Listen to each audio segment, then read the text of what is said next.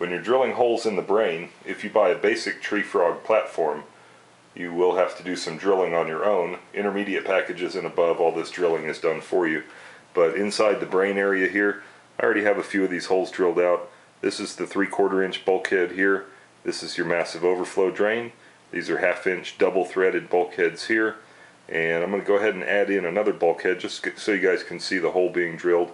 And you notice there's a gasket on here and that gasket is intended to go on the top side of the tray and then you just tighten on the nut from the bottom once you push it through the hole there.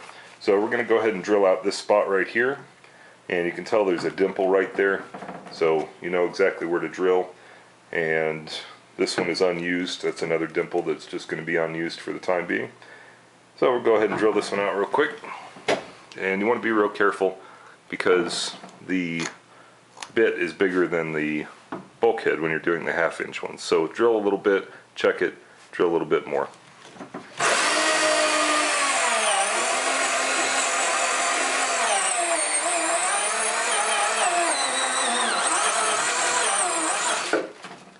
Alright, we'll check it here, and I can tell it's just a little bit too small, so we're going to go ahead and drill just a little bit more here.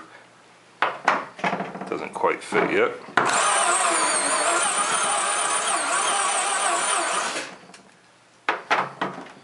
And just a tiny bit more. Alright, and then we would take the nut and tighten that on from the bottom on all of these bulkheads.